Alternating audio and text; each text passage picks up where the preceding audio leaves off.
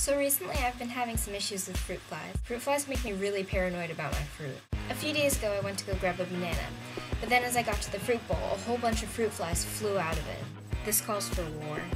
So I tried covering the fruit bowl with anything I could, but that didn't really work. Fruit flies won, me zero. So I decided it was best if I just tried to exterminate them. But it wasn't like I could just spray toxic bug spray all over my fruit. So I moved to plan B. I decided it was best if I just tried to hand kill them. I couldn't use a fly swatter. Those little bugs could get right through the thing. So I opted for killing them just with my hands.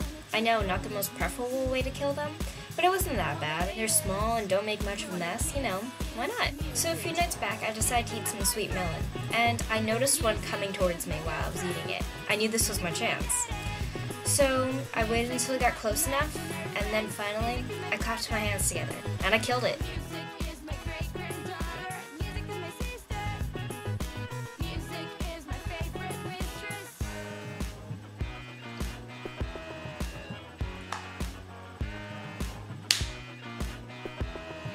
Fruit flies 1, me one. I kind of got into it. I set it out as a trap and I just waited until they got closer, but that didn't always work, and sometimes they escaped my grasp anyways. It's not that easy.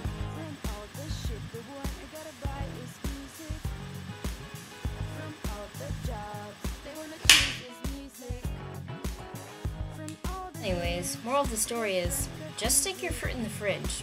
Don't do what I did. It's not that smart.